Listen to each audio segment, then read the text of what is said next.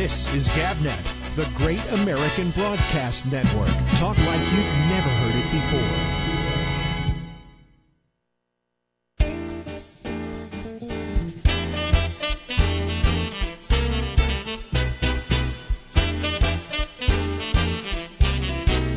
Hey, everybody, it's Alex Bennett, and it is The Ramble, and we go on until midnight tonight, Eastern Daylight Time. So, wherever you are in the world, accommodate for that. I know that right now, girlfriend's in China, and it's 10 o'clock in the morning, or 5 past 10.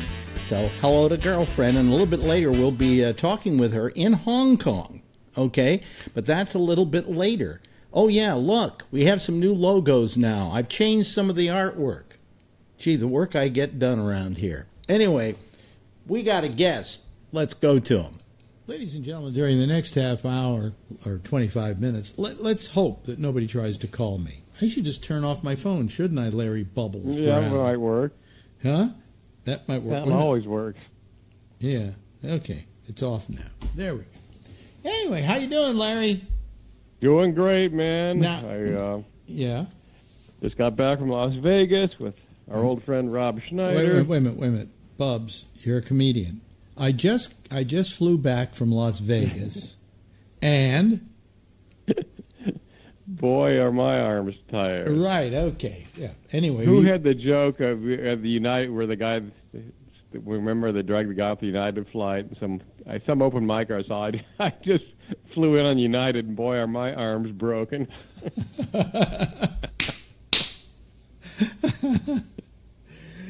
I was in Vegas with Rob Schneider, who is, uh, boy, he is so. I, I knew he was well known, but he took me out to Whole Foods one day because he's a real health nut, and uh, yeah. absolutely got mobbed. It was like I was with the Beatles. I- Isn't, I isn't, just- isn't that strange? Because under normal conditions, Rob Schneider would not be that kind of get that kind of reaction. But I think part of it has to do with so many people have done jokes about him that he's become a celebrity in that way. Like Family Guy savages him. There's always some Rob Schneider joke here and there. And they've always bothered me because I know Rob and I like Rob. He's a nice guy. Oh, the greatest guy, and he's he's done. Uh, I think just being in movies is kind of big to people. He's done a ton of movies. He's done a lot of popular, you know, pop films. Like he was in all of Adam Sandler's films. hmm You know, uh, and uh, I and, and of course Deuce Bigalow. You know, very popular pop picture. Let me put it this way: we were talking last week about various actors, and I don't think if Emil Jannings showed up at a supermarket, anybody would recognize him. Probably because he's been dead for like 50, 60 years, but uh, nevertheless, they, they, it wouldn't be that kind of recognition, hmm you know?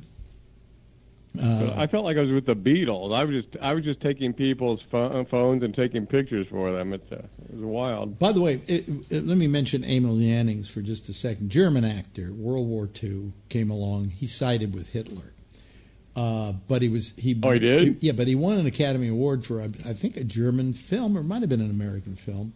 He won the first Academy Award for Best Actor, and he Wasn't was one. Wings? Of, he was one of the best actors in the world and made one of what I consider one of the best films ever made in the German film era. And the Germans were the best at making movies in those days. He did a film called The Last Laugh, and it's a silent film, and it's all about a about a guy who you know is the is the guy who meets you at the door at the hotel, and he's got his mm-hmm. uniform and everything, and he opens your door to your car, and he takes great pride in his job and great pride in his uniform that goes with the job. And then one thing leads to another, and they fire him, and I mean, his life goes downhill from there. And at the end, of course, it's called The Last Laugh because he gets the last laugh. But it is just, as a silent film, it doesn't even have, you know, it doesn't even have those intertitles at all. It didn't need them. The whole film is that good. And it just, you just sit there riveted watching this performance. I'll have to this guy. see that. I absolutely love silent films. Yes. You know, people don't watch silent films. They say, I love movies. Well, do you watch silent films? No. Well, then you don't love movies because there were some great silent films. There, we'll get back to Rob Schneider in a moment. Uh, um, I got into silent. How did I get into silent films? Uh, might have been through Shecky. I mean, Shecky said you ought to see this, and then I watched that, and then I started watching another, and then I, I started. What I started watching a lot of was Buster Keaton's silent films, which were amazing.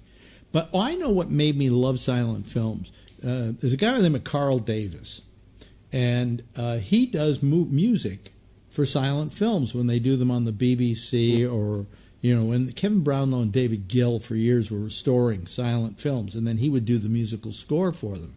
And when you've got a musical score that goes a big symphonic, like you would hear in New York City if you went to a movie, a big symphonic orchestra playing the music to a film, it just changes the whole feel of the film. And you suddenly realize why silent films were so great. Normally, they put some like rinky dink piano track behind it or organ, or worse than that, some kind of nebulous music so they just have some sound on the soundtrack. But when it's specially made for that film, it becomes a wedding of the music and the and, and the film, and it's extraordinary. And to prove this point, I took Marjorie and went with Shecky out to the Oakland, what's that big theater in Oakland? The Oakland Paramount. And we went and oh, saw yeah. Napoleon with Carl Davis directing a symphony orchestra. Oh, I know. Uh, I think I got tickets for my my father went to that. He said it was unbelievable. Yeah, and it is. Are you ready, folks? Something like six and a half hours long. You say, well, how do they do that? Well, they took a couple of breaks and they took a dinner break in the middle of the film. They took about an hour and a half off so you go out and have dinner and come back. And Marjorie, after it was over, said that was amazing. I never saw movies done like that before. And to have mm-hmm. the symphony orchestra playing the music, I mean, it was just, it was just breathtaking. Uh, and plus, at the end of the film, Gabe Abel Gance, who was the director of the film, famous silent film director, um, did a thing where all of a sudden the single screen opens up to three screens essentially, but it's wide, right?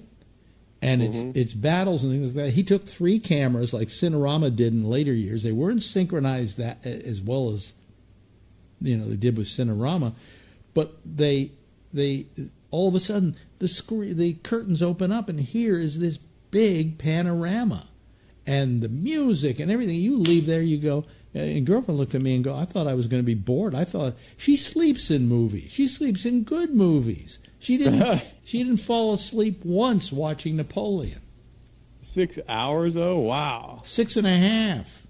and you know something? It went by so fast. I I wanted my money back. You know, I mean, it just it just whizzed by because the film is so well done and so well told.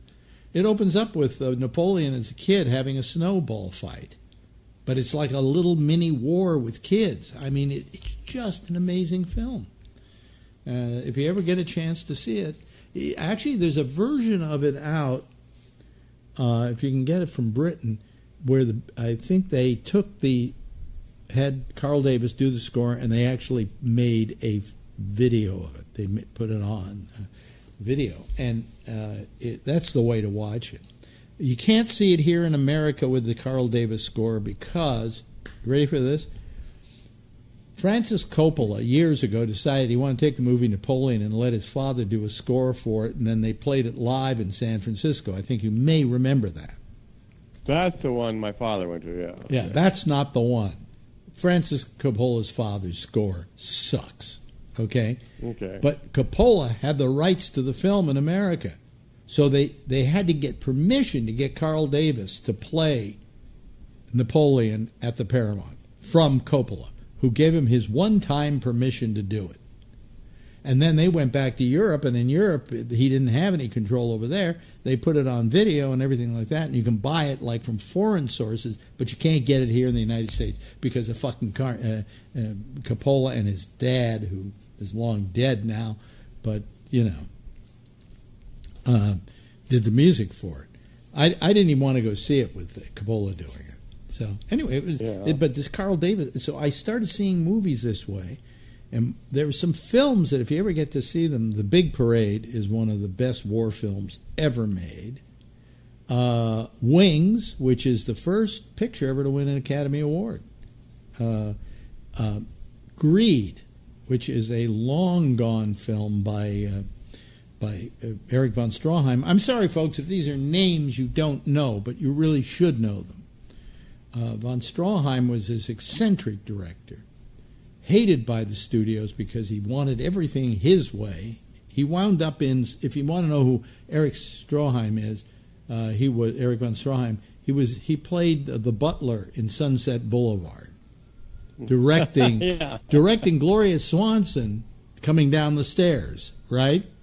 Mm-hmm. But he and he was also but he was her director in silent films, von Stroheim, and did a film with her that never got finished. I'm trying to remember the name of it right now, and it became some of the footage they show of the old Gloria Swanson in a movie. But anyway, be that as it may, where was I?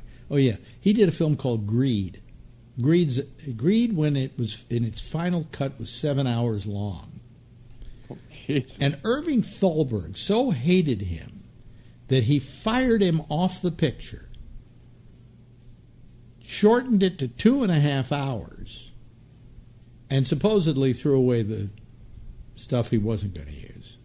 Oh. And and and the the holy grail of film today is a completely restored version of Greed, and there isn't one to be had. They have done it on TCM, where they took the parts that were taken out and then they they um, uh, played the music and ran the intertitles with stills from what they thought were the scenes for those those uh, uh, parts of the film.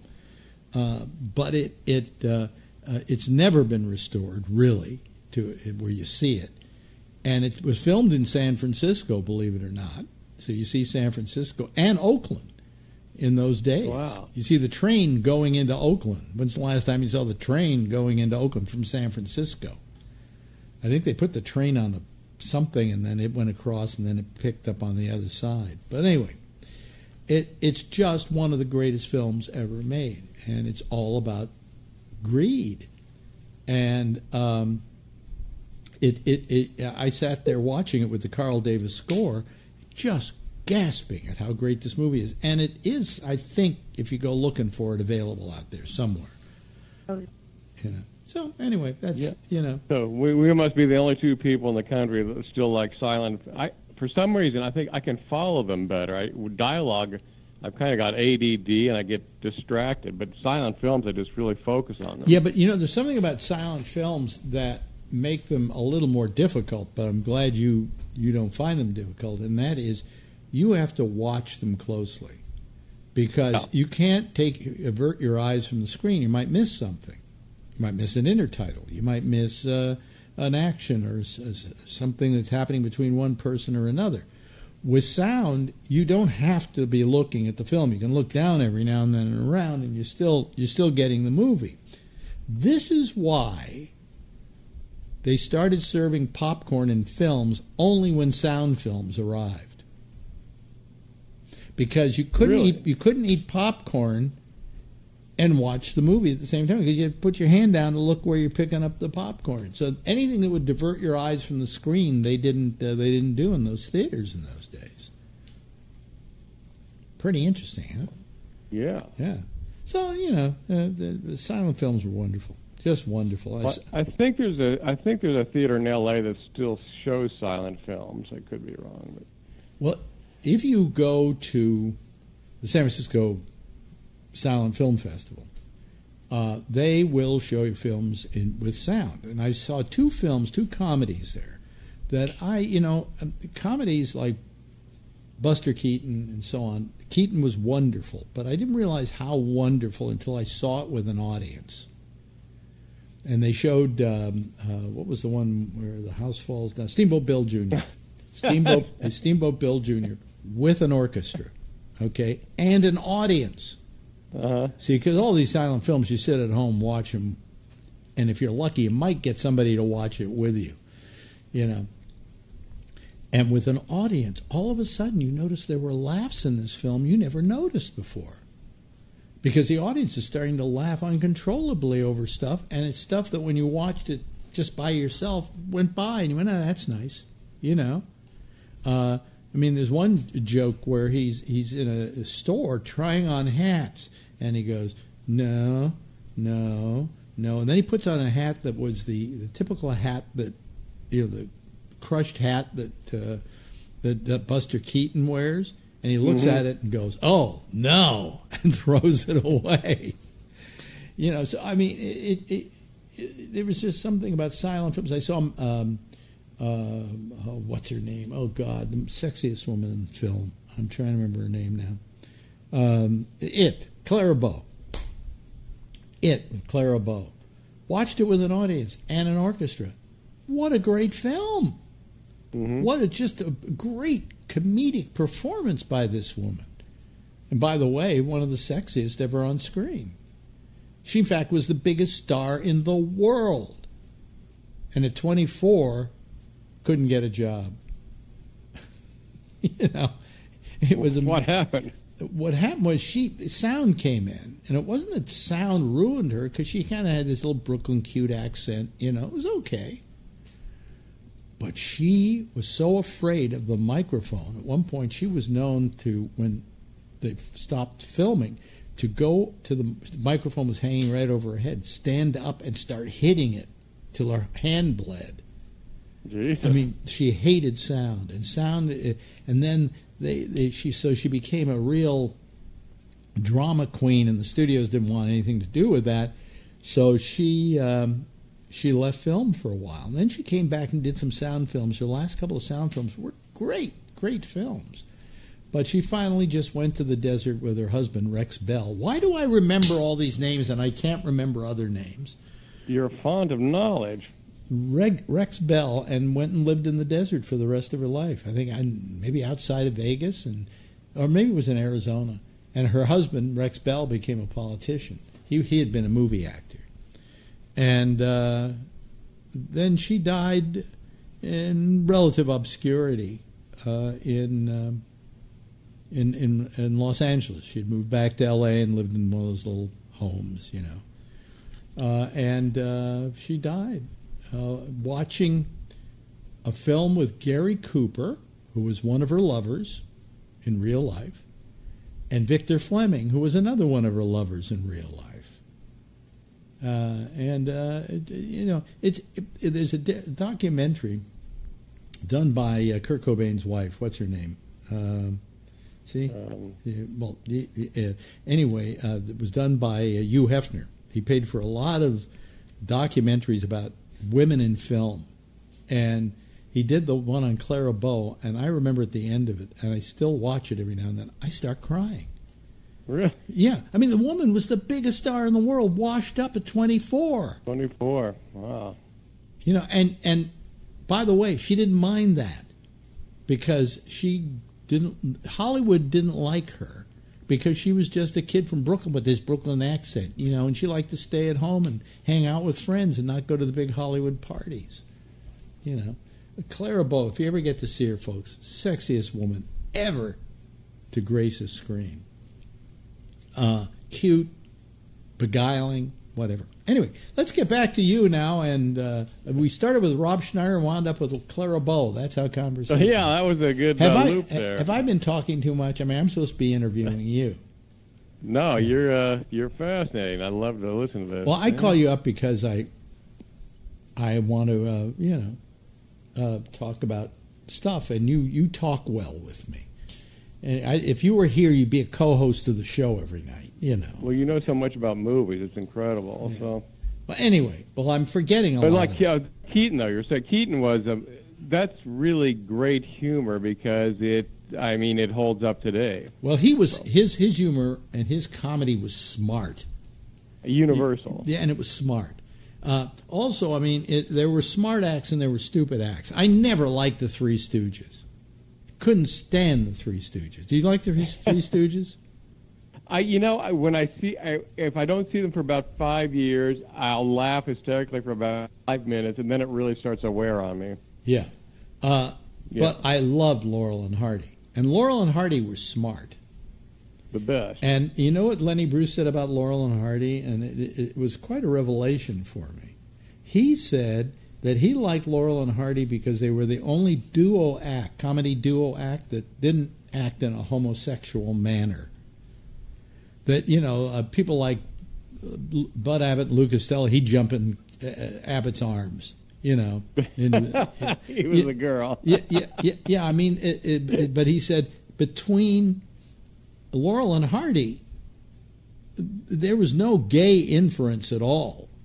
You know, there was no homosexual overtone. Mm-hmm. Uh, even though he knew that Abbott and Costello weren't gay, you know, Martin and Lewis, same thing. It was a kind of a homosexual overtone. And I think it had a lot to do with straight man and comedian. That's an interesting observation. Yeah. Laurel and Hardy, who was the straight man? There wasn't one. Mm-hmm. There was there was no straight man at all, and uh, it was just simply what made that act work. Is there was one guy who was really dumb, Stan Laurel, and he knew it. He knew he was not the sharpest knife in the drawer. On the other hand, you had Hardy, who thought he knew everything and was just as stupid as Laurel was. you know, and that made for one of the greatest duo acts in history. It, it, it can't Yeah. be beat. There are Laurel and Hardy films that are just amazing. I mean, the the best one is when they're hauling up a piano uh, a hundred flights of stairs. Um, I, ju- I just saw that the other day. Yeah, it was uh, great film, just a great. Film. Yeah. But anyway, let's get back to Rob Schneider. so, you, so so Schneider's mob. He uh, he's one, he's like Robin. He just when he people come out, he's just so nice. Takes pictures, very friendly with everybody, and that's uh, that's great. he is, you know, of all the guys that I know, you know, he's one of the ones who still every now and then stays in contact. You know, Yeah, he loves you. So Yeah, Good and, guy. and in fact, I got to get your number from him because I got I got to call him again and get him on this show to do it because uh, I, want, to do a he has a he has a Skype camera so we can actually visually visually talk to him. But Mhm. but anyway, um, so you were in Vegas and what were you there for? uh, he was just working a couple of nights and had me open for him, so uh, that was fun. And then uh, getting ready to leave Monday, and he called me and he said, "Meet me at the last minutes. We just got invited to the Jerry Lewis Memorial." Oh, I see. Okay. So I said, can't miss this. So we ran over there and uh, a memorial for Jerry Lewis on Labor Day, which was his big day. So, Yeah. and you know, it's a Vegas memorial. Uh, We walk in, the first person I see in a suit is Carrot Top. it was hosted by Tony Orlando, who looked like he weighed about 400 pounds, but did a good job. And uh, But They you, would, just showed but- some but you would think that if in Vegas you were holding a comedy uh, tribute to, you know, Jerry Lewis, a memorial to Jerry yes, Lewis. with uh, with cocktail waitresses that were half nude. It was if- a classic Vegas memorial. it, it, well, that's not bad, okay, because at least he did Vegas, and it's Vegas, okay.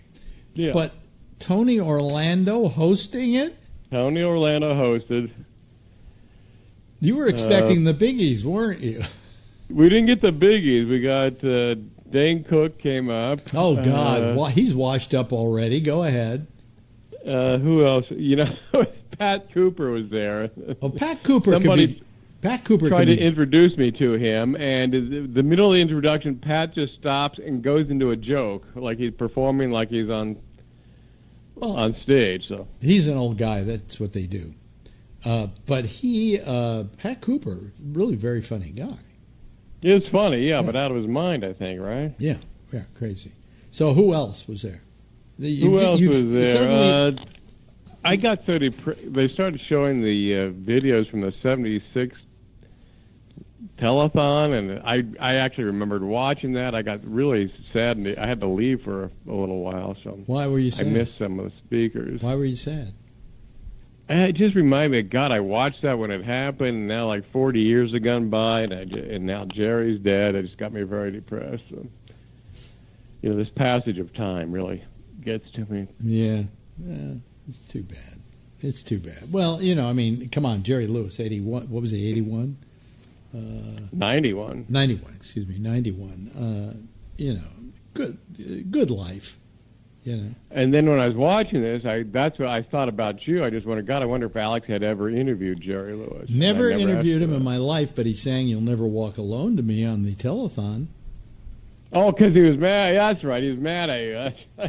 Yeah, yeah, yeah. Because he had heard that a disc jockey in San, in New York had said uh, that he was. I, I didn't think he was a very good comic anymore, uh, or a very good performer anymore. And he said, "I hope this is good enough for that disc jockey." And then he went and sang "You'll Never Walk Alone." And I'm looking at people around the room going, "That son of a bitch is singing "You Never Walk Alone" to me." um, but uh, um, you know, I mean, I um, I, I love. Listen, I, I talked about him quickly, and then I then we got to go here.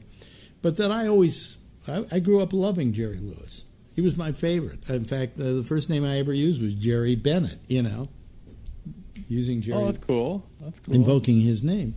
Uh, Alex came about because of my father's name. But you know, I mean, uh, I thought he was terrific, and then I said, as you grow up, you mature out of Jerry Lewis. Okay, you know. Yeah, 'cause I loved him as a kid, and I look at some of the stuff I look at now. My God, that was awful. But Yeah, yeah.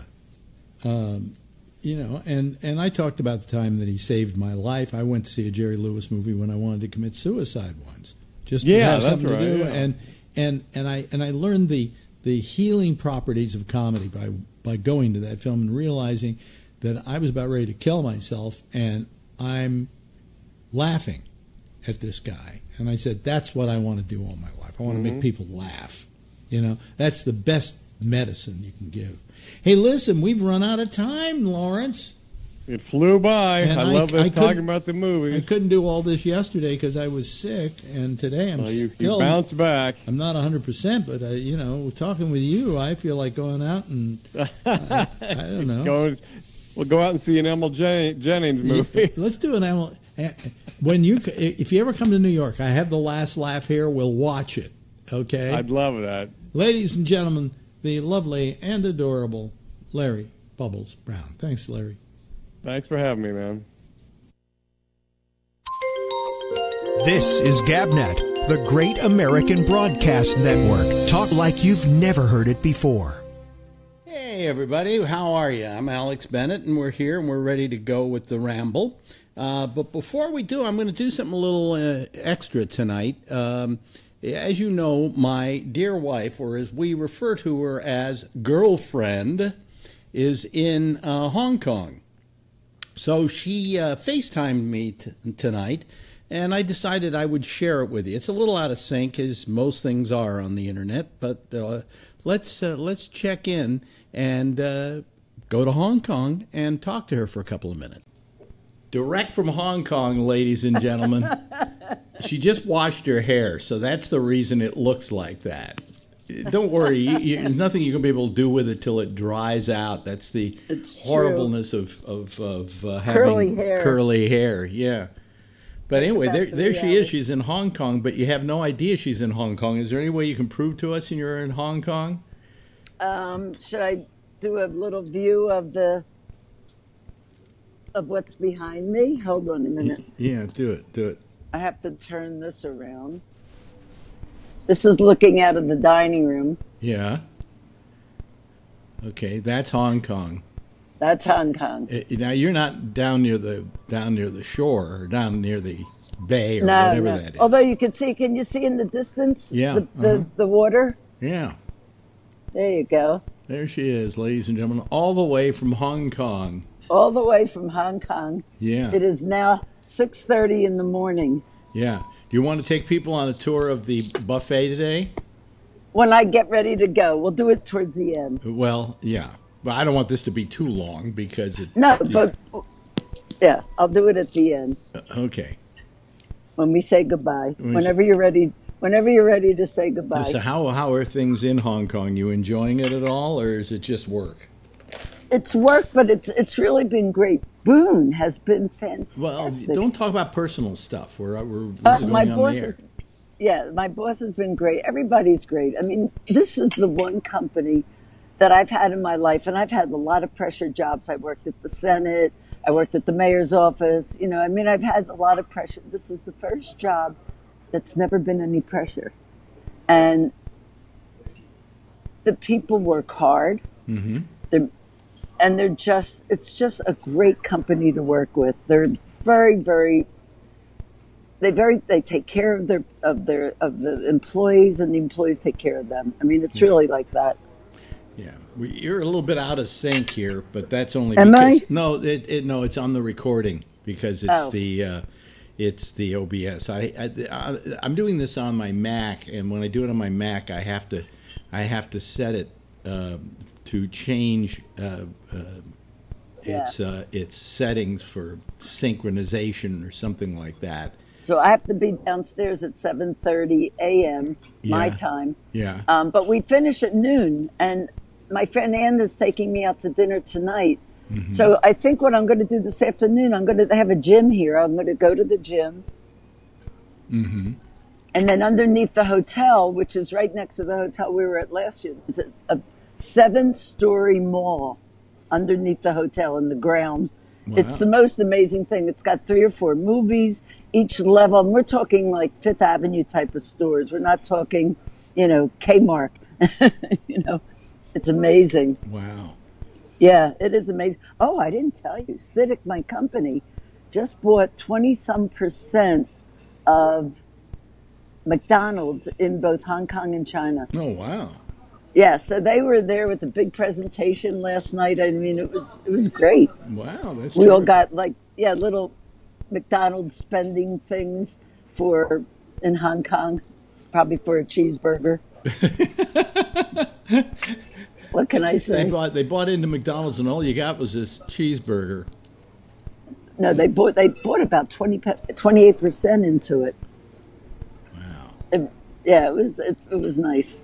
Wow, that's good. That's So we had a banquet last night, which was you know 12 course Chinese banquet, which was very good, but it didn't finish till after 10, and that's way past my bedtime. And then my boss invited everybody, all the partners that were there visiting, and the staff to drinks mm-hmm. in in the lounge. So I showed up and left. I didn't stay. I didn't get to bed till about midnight, which for me is very late. Yeah, Oh well. So, so yeah. yeah. So today's the last day, and um, I leave tomorrow morning, real Wow. early. Yeah. So I leave Thursday and I get home Thursday, which is the weirdest thing. Yes. It it is. So, um, and you're going to show us the buffet? Are you ready to do that? Hold on. So I have to turn this around, right? Mm-hmm. Okay, we're going to go into the buffet. Hey, Okay. Here we go into the Okay. buffet, folks. this is the dining room. Oh, by the way, as we're walking to the buffet, this is some of the different levels of the hotel. And that's See? a, that's just an old-fashioned Marriott, isn't it? yeah, this is just a Marriott. Let me see here. Uh, and now you're Okay. Gonna, you, wait till you see this buffet. She showed it to me yesterday, uh, and it's like in in China they really like to eat, and and they're not Right. sure what kind of cuisine you want. So Here's the lox and bagels. there there's for, that's for the Jewish traveler. And it's all you This can. is- yeah, it's all you can eat, right? Yeah, this is different curries. Yeah. This is your sausage and Okay. bacon. So far, we haven't gotten any Chinese stuff. Yes, we had all those, all this, What? Oh, the curries. oh, the all curries. these curries. Well, that's more. Yeah. In, that's more Indian. Well, they have that too. I think that's for the Indian traveler. Yeah. Here's here's the the American stuff. yeah. Here's some sausage Look at and that. Look at the size of that sausage. Uh, not that And I'm bragging. Uh, and uh, let Here me we got a little fresh fruit, Oh wow, wow! It's very colorful. and on the other side of this is like a big smoothie table. A big smoothie table. Yeah, where they make smoothies for you. Wow, wow, wow! That's Here's some yogurt. This is all yogurt Yeah. with top. And here's the smoothies. And, and this, I hate to I hate to think of what the dinner buffet looks like. oh, it's amazing. Now here we go to the sweets, croissants. See this? Yeah. And now we go to like eggs and breakfast food. Yeah. This is where they make all the eggs for you. And they bring it over to the table right here. Yeah. See? Yeah. Yep. Yep. Yep. Yep. They make omelets. And then here is noodles. Mm-hmm. And this is all dumplings. Yeah. That's the Chinese stuff. Ooh, Yeah. Breakfast dumplings. Dump, breakfast dumplings. Yeah. And this is, um, you know, oatmeal, different hot hot cereals. Yeah. And here's some spring rolls and dump, more dumplings. Man, it just doesn't stop. Oh, and then here, this is miso soup. A lot of people eat soup for breakfast. Yeah. So this is all the soup that you can have. Wow. And here's all the there's all the noodles that go into the soup. The different types, you know, the Yeah. all different types of noodles. and then here's some greens. and that's about it. Okay. All right, turn, sweetie. turn, turn, wait a minute, turn the camera towards you now. Turn it around so we can see your face as you're walking. Yeah, you can start walking. You can start walking. I'm gonna go get my breakfast. Yeah, but uh, Alrighty. but- Well, uh, it's uh, it's it's actually Wednesday. She's living in the future there. I'm in the future, talking to the past. Yeah, and um, uh, stick around after I'm through stopping the recording. But uh, say goodbye from Hong Kong. That's Bye from Hong Kong, and I'll see you all Friday night. Yeah, or Friday night. That's- Thursday night. No, but I'll be You- on your show Friday night. Oh, night. Friday night. Oh, yeah. Okay. Friday yes. night, Right. yeah. Right. Take care, everyone. Wait a minute. Did your people Call talk to? Did your people talk to my people? No, but I'm sure they will by the time I get home. Oh, okay. I'll send an email. that's uh, girlfriend reporting live from the buffet in Hong Kong. live. All right. There we go. Go live, and uh, we should be um, we should be there soon. Let me uh, let me see here. What's happening? Oh boy, that's that's not nice. Okay, there we go. Okay, all right, we're going out. All right, and it looks like we're not spinning around, and you know people can now see us. And uh, let me just go back here, and let me open up the lines now, so that we can talk to people. By the way, you know we have some new we have some new. Um, uh, let me open this up here. Um, we have some new uh, graphics, as you saw. Uh, I did this one. This is the new Ramble graphic, and this is the new um, uh, Gabnet uh, graphic, which I really like. This one, that one I like. I'm I'm real happy with that. That's nice and clean, and you know works well. And uh, anyway, let me see here. Uh, let me go back here. Okay, here comes Mike, as usual. It Uh, sounded like, it sounded like a wonderful trip. What? She sounds like she had a wonderful trip. Oh, no, she's not. Well, She's spending two days there, and then she's coming back, that's a quick trip. and she's working during that time. So how's that? Uh, uh, how's that having a good time? She's eating. She showed us breakfast. That was the most exciting thing she had to show us. You know, so uh, uh, that's an example of whatever. But anyway, uh, to all you people out there, uh, I think you can. Yeah, we're now going out okay. We seem to have no problems with our with our whatever. So, um, hello, uh, Brian. Uh, We can hardly see you, Brian. You're all in the dark. Brian. Yeah, um, Yeah. it's a it's a long night tonight. it's a long night tonight. Why is that? Oh yeah, Why is it because? I'm still on the clock. I'm not. Oh, because you're still on I'm the still clock. on the clock, and I won't be off. Yeah, probably until close to uh, like twelve thirty or so. Yeah. Wow. Well, anyway, so uh, Uh, how, how was your weekend, uh, uh, Brian? Did you do anything interesting or exciting? Not really. I just sat around the house. You just sat around the house. Okay, that's all. That's all I did this weekend. I just sat around the house too. It's it, it's it, in a way I miss girlfriend when she's not here, but the part I don't miss is that after the show's over, I don't have to ban banish myself to the guest room to watch TV and stuff. I can just go in the bedroom and watch it. You know. So it's a much nicer situation. And you, Phil, how did your uh, little wedding go that you were doing the photography for? Very nice. I stayed at the Mark Hopkins two nights. Uh, it was ki- it was like a mini vacation uh, with friends and celebration. Uh, uh, I'm putting together the uh, the album.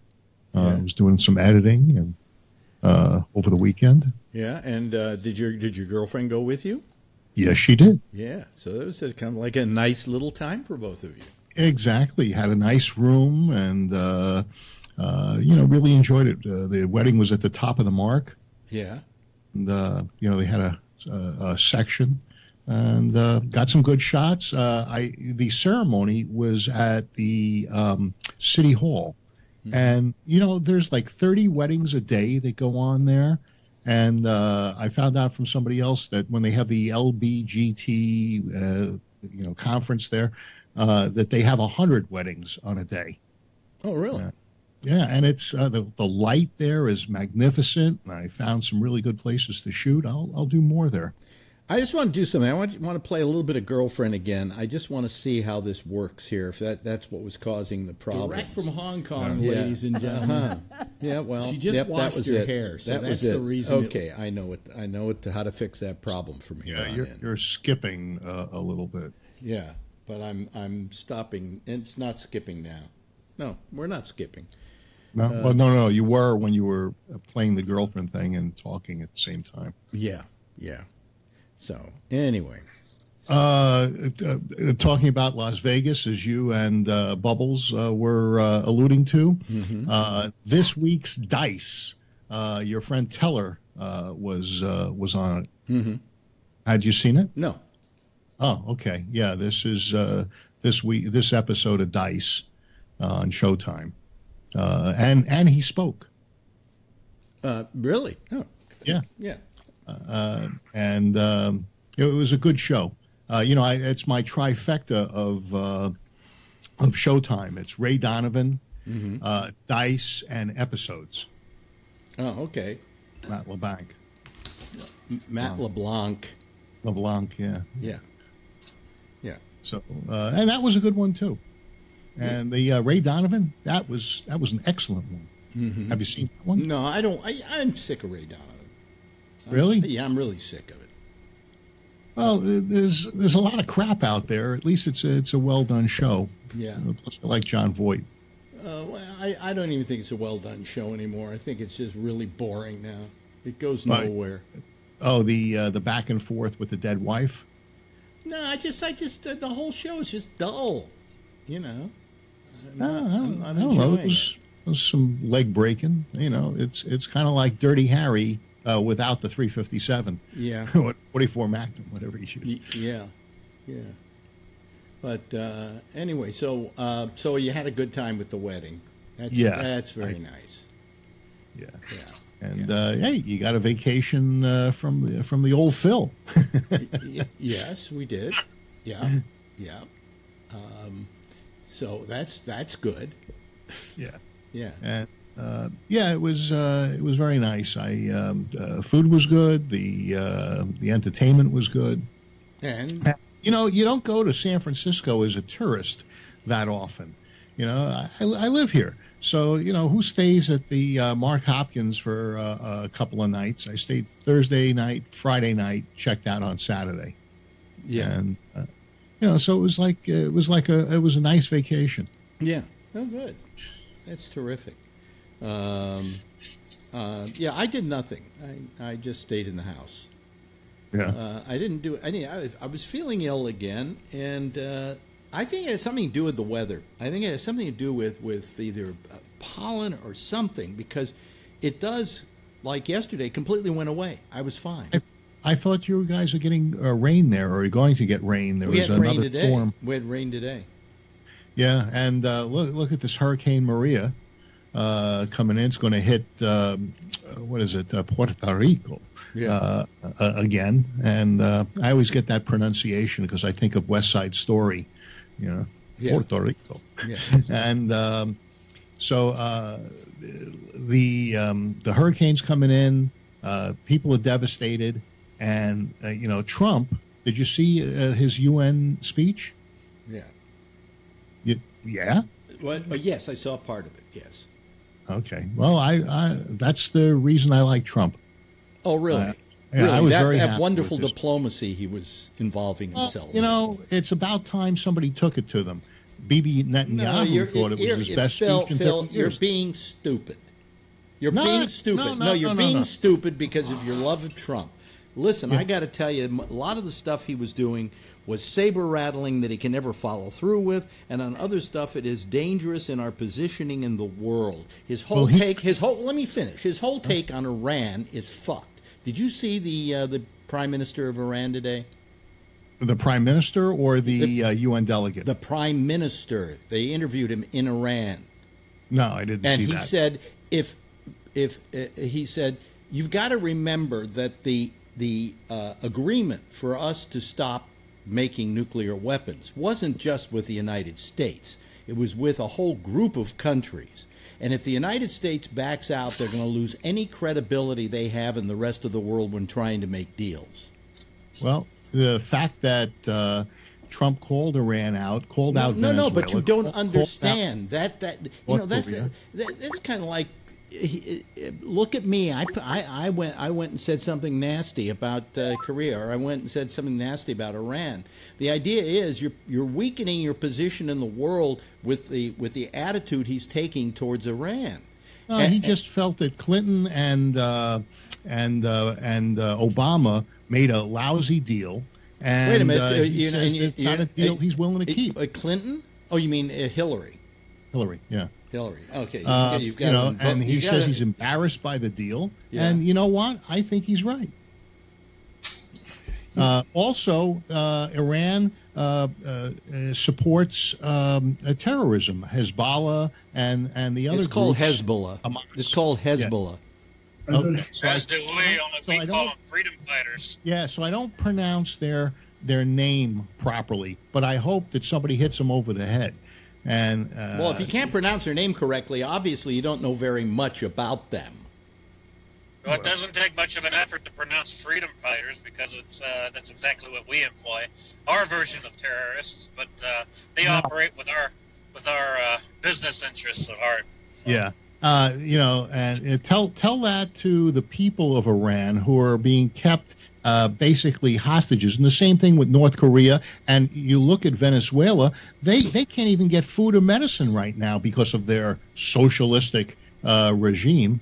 Uh, their, their country is falling apart, and what he and what Trump said was that socialism and communism has only led to this kind of uh, issue in every country that it's ever uh, touched. Yes, but Trump's a dunce. Okay, you're you're, Oh, that- quote- you're that's a good quoting a guy with great authority who has not a great any great ideas and doesn't know what the fuck he's talking about. I thought he outlined his ideas beautifully tonight. Uh, today, Well, that's So because logic that's is- because you're a so moron like he is. Germany collapsing? With one moron understands another moron. Okay? Is Germany a socialist communist country? No. No, it's, No. Well, it's then, not a communist then I country, but it is. my case. It, it, it does employ a system. It does employ a governing system of democratic socialism. I mean, they have uh, universal health care. Yeah, They also democratic have, uh, socialism. Is that when you get on your knees and you and you and you yank it off?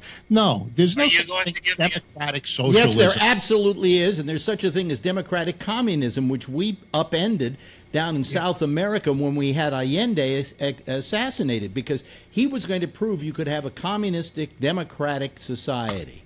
No, that's just a warm and fuzzy way no, of, no, of no, uh, no. trying to mask Phil, what they Phil, really Phil, are. you don't know what you're saying. You really don't. Do you know who Allende was? Uh, yeah, he was the leader of. Um, it wasn't Panama; it was the other one. Um, uh, he he was overthrown. Uh, he overthrew um I'm trying to think of what Central And American who, who countries. who was he replaced by? Uh, the guy from Panama, the strongman. No, uh, oh, you you strong don't man. know shit, Phil. You don't know the guy that just died. No, no. That's It's a, you've No. got that. You've got Panama mixed up with uh, Chile.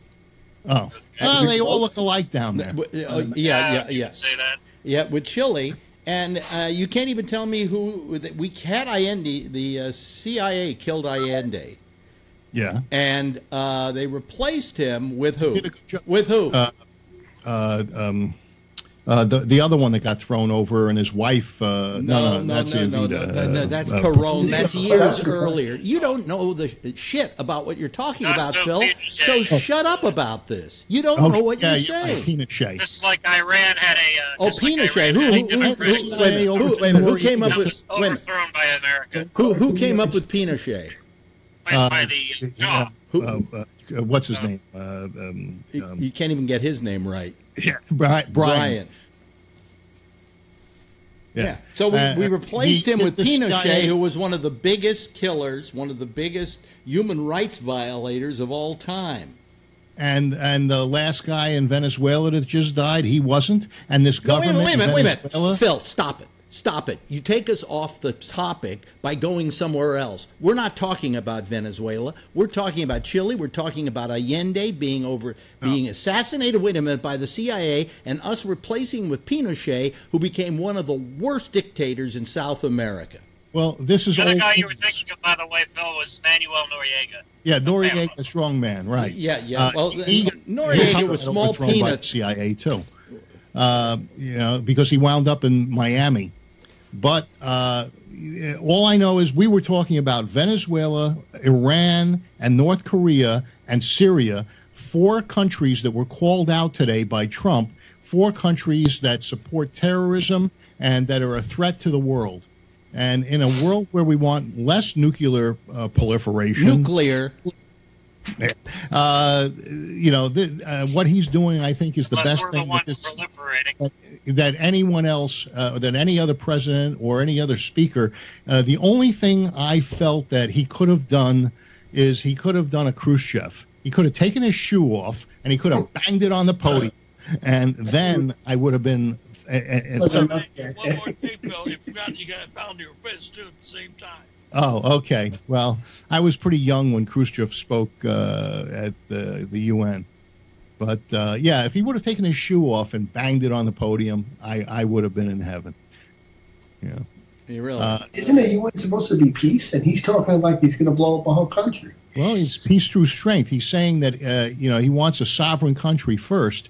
He he says he's here. He's going to protect America first, and uh, and that he wants other countries around the world to uh, be able, regardless of their government, uh, to be able to be sovereign countries that are strong and not maybe militaristically. You know but He's speaking out of his ass because right now he, ha- you know, one of these days, ISIS or somebody is going to cause an act of uh, of absolute terror in this country that you won't believe, and it's all going to be on his watch because he wasn't paying attention. well, I think he is paying No, attention. No, he's not paying attention. Oh, He Yeah, can't 'cause pay. he's- He can't pay attention to a briefing for Christ's sake. He's aware of the threat, and he's the first one. Instead of sitting there and pontificating about how great the other leaders are, he, he, he took them to task. Oh, big deal. Big deal. That's great diplomacy. That's great Yeah, diplomacy. Yeah, that's wonderful diplomacy.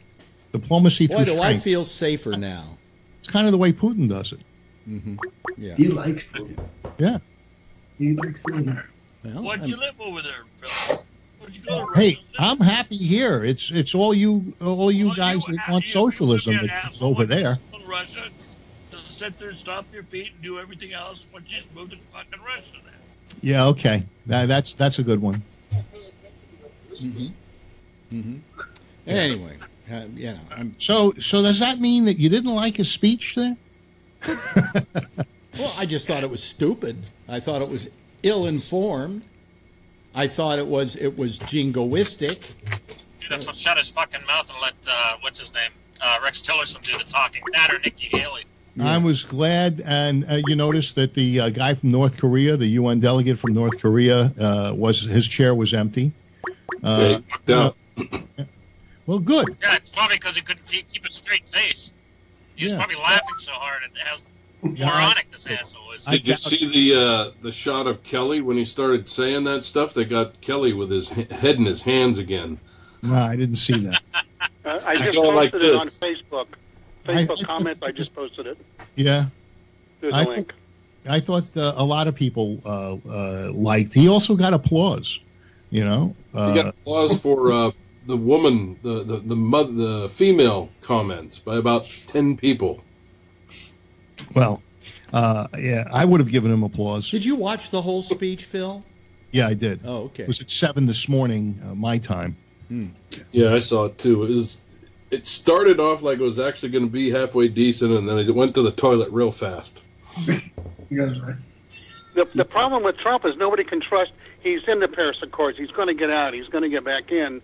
He he he he gets out of agreements that we've had for years. He says he's going to get out. Doesn't want to get. The guy can't make any kind of decision. Hey. It's unreliable. But Tim, if you threaten to get out, it gives you a negotiating tact. What- Uh, it means you're not going to be able to negotiate with anybody in the future. Because it means not. It also jeopardizes our negotiating with North Korea, if that's even possible. Ah, and you there's don't no- just throw out. more, There's no negotiating put- in North Korea. Put it even more But yeah, you have clearly, to negotiate with China, though.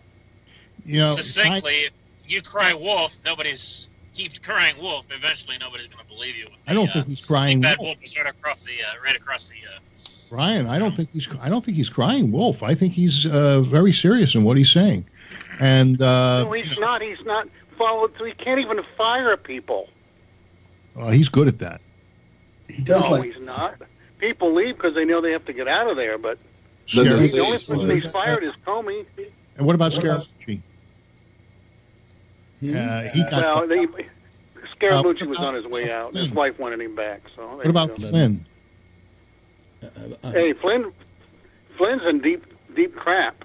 Well, Along with, uh, he got fired. Manafort. Manafort, yeah. He fired him too. You know, He But he also to. hired him.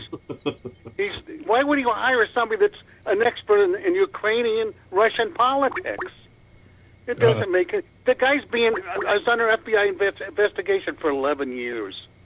He's a money launderer. well, yeah. He's a Hello. con man. Why yeah, would you? wait a minute. Wait a minute. Somebody someone just joined who us. doesn't? Who who just joined us? Is this Alex Bennett? Yes, it is. Yes, it is. Hello, is this the world famous Alex Bennett, Yes. distinguished journalist? Who is this?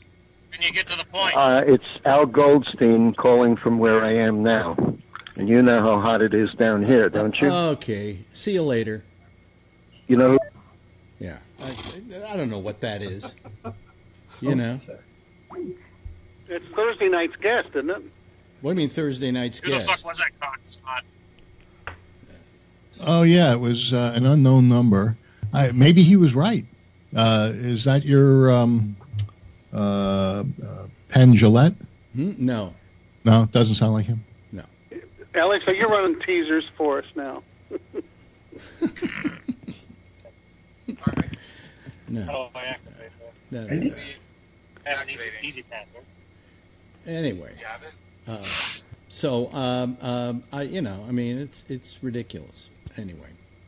Yeah, here's who we're going to have on tomorrow night. So in case I people want to know. So I just thought I'd throw that in there because I'm trying to make sure it works okay. All right. Anyway. Uh, I, you know, this whole whole process here every night is like, you know, patting your head and rubbing your stomach. I'm having to keep the technology going and figure out what's what the problems are, and at the same time uh, uh, do a show. Uh, anyway, Tim, need- what what what were you Go going to say, Tim? Um, you need five or six interns. What do you- work for free.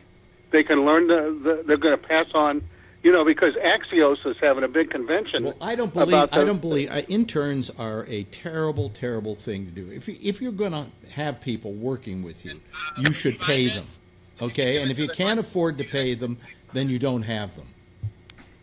You know. I know, but you're paying them in free training. No, so I. That's bullshit. That's bullshit. You know, You know- I, I, it is a way in which uh, operations for a long time have have gotten away with uh, free labor. It doesn't really uh, transmit itself into being any kind of job or uh, the ability to get a job somewhere. I find internships horrible unless they're paid internships. Yeah, they should be paid. You're, you are correct. What about if it leads to a job though? Like they guarantee him a job. Would No, but they, you can't guarantee anybody a job. Oh, they can't. Uh, Oh. What? So you're going to be? But so you, you, if you have an agreement, a sign-on agreement with a community college or university, they have grant money. They can pay the interns a certain amount and give them credit. Well, for class I've never, I've had. I, we've had interns, and I've, we've, ne- I've never known of them getting paid for it. It's tough to get an intern at 10 o'clock at night, also. You know, four nights a week. Yeah. Uh, eh, you know, to, to come to Harlem. You know, that that's that's not going to be an Well, easy. but but they don't have to be there. They can do it remotely too. uh, not, no. This this is 2017, Phil. Yeah, but You, you don't have to is- be there to work for them. Yeah. Uh, But anyway, that's just just yeah, that- that's off off topic. So. you almost have to But look anyway, at them to communicate what to do. Yeah. Well, uh, don't, and don't don't start writing me letters saying I'll be an intern for you. No, I don't want. I don't want. sorry. I don't want any interns. Okay. All right. Okay. How about Mexico? anyway. Huh? How about Mexico? 105 dead. Really? Yeah. Just had, just had another earthquake today. Yeah, yeah, 105 today. How many people were dead from Hurricane Harvey? Uh, 57 or something? That's it. Well, that's Yeah, good. and Red Cross is getting their ass reamed for not bringing any money to them too. But yeah, what are they? What is their excuse for that? I heard They a don't tease- have one. They I- just said that their uh, website crashed from so many people trying to apply. Uh, and there was somebody else that said that food and blankets were being thrown away uh, that were given for Hurricane Harvey, and instead of taking them and, and using them in Florida, uh, they're um, uh, they're they're throwing them, they're, they're disposing of them. Well, I would have to hear the reasoning behind that. It might be that the expense of moving them somewhere else is not is is more expensive than just buying new blankets and giving them to the people in Florida. That's a possibility. Yeah. You know, but it was uh, just somebody's post that I uh, that I saw. They had pictures of the oh food. yeah, uh, they, yeah, they were yeah, those posts are reliable as, as hell. Yeah. Uh, there, there's another It's the problem internet. with the- Everything on the- the internet is true. It is. It's true. Yeah. They are having a problem with with the water supply because once they turn the water supply on, the sewer systems are messed up pretty. They're big time. That's going to be a big expense Yeah. to fix the sewer system. So they can only run water in some cities for certain hours a day. So it's, it's a mess in some of the areas. Well, I made reservations today. I'm going to support the people in Key Largo by going there and uh, uh, spending uh, spending money and uh, uh, giving them tourism. Oh, in other words, you're going scuba diving again. Yeah, he's going scuba. Yeah, don't don't, don't sound like you're doing a wonderful thing. Okay. Hurricane So diving. Roundabout, your roundabout way of saying he ain't gonna do shit. He ain't going to do shit. He's just going to go Oh, no, down no, there. no. Actually, uh, uh, I, I have a sign, that's it. I have a Facebook friend that lives in uh, in Key Largo. He's the uh, head of. Um, uh, he publishes the Alert Diver magazine. Uh, Stephen Frink, He's an underwater photographer, and uh, so I. Well, you're uh, alert wrote- until you get the bends, but go ahead anyway. Yeah, well, I wrote that I uh, I was going to come in November and, and and dive there. You know, because hey, I could have went to Mexico. Uh, you know, which wasn't affected by the storm. I storm. could have gone to Mexico. gone. Yeah, went. Key Largo came Uh, out. Yeah, so Key Largo got hit pretty hard. So um, you know, Stephen Frink uh, uh, liked my post. Well, the, I, the Keys reminded me of something. I mean, when I when I lived there and I looked at the map of Florida, hmm to begin with, as you know, Florida of all the states we have looks the most like a penis. It does. It does. It looks just like a penis, and there's a big vein going down it called I eighty or something Some like that. What is that? 95. I I ninety five. Yeah, it's a big vein. It's a really huge vein, and then when you get down to the Keys, it looks like uh, the penis has the clap. And and It and, spurted and, out some cum. uh, yeah, yeah, well, it looks like uh, it look. I think if knowing Florida, that's venereal disease. It's Florida. Florida looks like a big And the state. only problem, the only problem with the last hurricane is Miami didn't get hit that hard. You hate Miami. I hate Miami. Marathon, Key West, a lot of the lower keys got really It is impacted. bumpy down there. Uh, and uh, Key Largo, uh, when I contacted the dive place today, said that uh, the roads aren't open, but they. But you can go boats- scuba diving because everything's underwater. Yeah, really. Uh, It's but safe to uh, go. yeah, Yeah. I'm diving a wreck uh, out there. Yeah, the, the uh, wreck happens to be somebody's trailer court, but you know that's. can go anywhere. He's gonna go. Some alligators right on the side. By the way, you know what I don't get? Uh, let me let me bring up something here. I don't get people who live in like hurricane areas or not hurricane tornado areas who then live in mobile homes. Well, you know, you know, they're because, the because they become ones. they become as some people once referred to them God's bowling alley. You need that. It's a magnet. When the when the hur- when the tornado comes, it hits the mobile home park, and all the other brick and mortar homes are spared. Well, Uh, don't these people realize that if you're living in a house where the only thing anchoring you to the ground is a garden hose, you know you're in bad shape when a tornado hits. You know these these things have uh, have axles, and and they take the wheels off of them. I don't understand why they don't leave the wheels on them so that they can tow them down the road in the non-earthquake area or non-tornado area. I would have a trailer like that. You think they would leave? Well, you know, you can be in the wheel rental business then. You know, tornadoes are coming, wheels are a big item, you know. Yeah. The axles are there, all they got to do is stick the wheels on. Yeah, yeah. So anyway, yeah. Uh, Oh. So, uh, uh, um, where are we in in this whole uh, thing? Well, here? uh, yeah, I guess Mexico City. Mexico It's- City. Let's scuba diving. Is it 35 years almost to the day or to the day that Mexico City had that last major earthquake? 30, 30 Yeah, years, I 32. Is it 32? 32. Okay. and uh, uh, and and their building codes, even though the government They haven't said, gotten any better. no, they haven't. You know, when you lived in the marina, uh, there was a lot of there were a lot of homes that had garages underneath them, and then the apartments were on the first floor and above. Yeah. and those garages didn't really lend themselves to the support that they needed during the Yeah, I'm earthquake. trying to use a credit card to uh, get through this. How do I how do I use it? I, Oh, wait a minute. Let's watch Brian trying to get through a toll gate with a credit card. Just run it, Brian. It just, Run it. Yeah, yeah, just gun it. Gun it. No. Tell him you catch him later. Tell him you. Be- become a felon.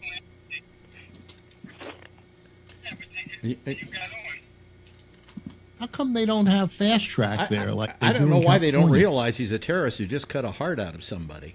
Yeah, yeah. It might have been the toll taker. Probably the border. They're going to search him now. Wait a now. minute. Let, let's watch this happening here. This He's is- not an American. Don't say that. Golf in the Hold on Shut up, Phil. Stop him at the border. Check his turban. Come on, Yeah. there we go. There we go. He's. Look, what's happening here? Let's. Uh, he's he's flipping him double or nothing. Yeah. What is it, Brian? They won't take credit cards?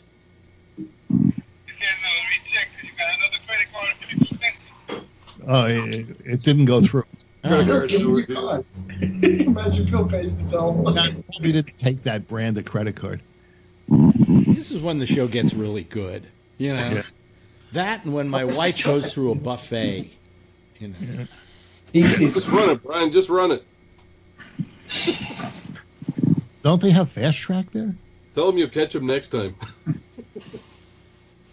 Yeah. Yeah. I finally figured out what went wrong earlier. I've got to whenever I uh, uh, tape somebody ahead of time or do an interview ahead of time, I have to redo it to bring the rate down, the, so that it doesn't use up as much bandwidth. That's what the problem was, and hers was uh, was rather large. So I'm, I well, just that's ridiculous because I know I have a balance. in there. I I No, it's a different one. That's what she said. Yeah, put it in.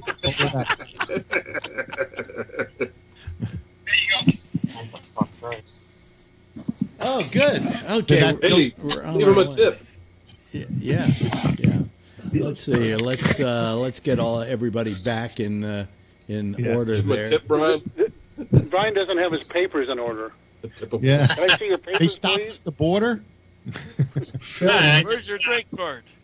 For some reason, they wouldn't read my card right, so I used another one. Yeah. Well, that's Company uh, card. Company card. Tell them screwed up.